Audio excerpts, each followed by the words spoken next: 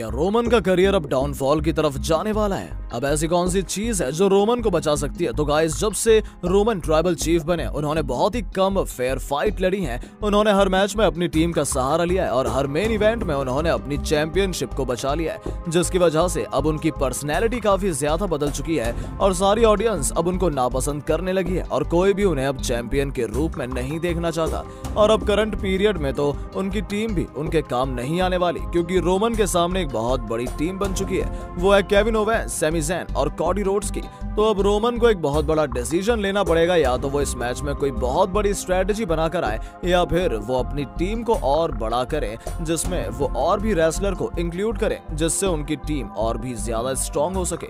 या फिर उनको अब अपने कैरेक्टर में चेंज लाना ही पड़ेगा, नहीं तो उनका करियर डाउनफॉल की तरफ़ जाने से कोई नहीं रोक सकता। तो गाइस हम बात कर रहे हैं पुराने वाले रोमन रेंस की, जिसमें वो सारी फाइट अकेले लड़ते थे।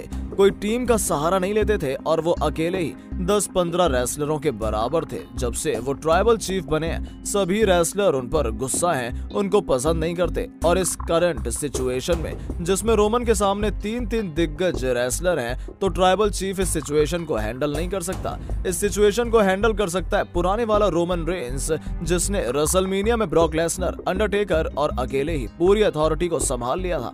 वो पुराने वाला रोमन रेंस इस सिचुएशन को संभाल सकता है और इस बार कॉडी रोड्स के दिमाग को मानना पड़ेगा क्योंकि उन्होंने ठीक रसलमीनिया से पहले सेमिसेन और केविन ओवेंस मिसअंडरस्टैंडिंग को दूर करवा दिया और उन दोनों को वापस ले आए हैं और केविन और सैमी का भी एक ही मकसद है कि वो ब्लड लाइन को फिनिश कर दे। तो अब या तो रोमन को टीम को बड़ा करना पड़ेगा, किसी बड़े रेसलर को टीम में लाना पड़ेगा, या उनको अपना पुराने वाला कैरेक्टर अपनाना पड़ेगा। तो गाइज़ आपके पॉइंट ऑफ़ व्यू के हिसाब से रोमन क्या कर सकते हैं? कॉमेंट करके ज़रूर बताइएगा। चैनल सब्सक्राइब कर लो ऐसी वीडियोस के लिए धन्यवाद।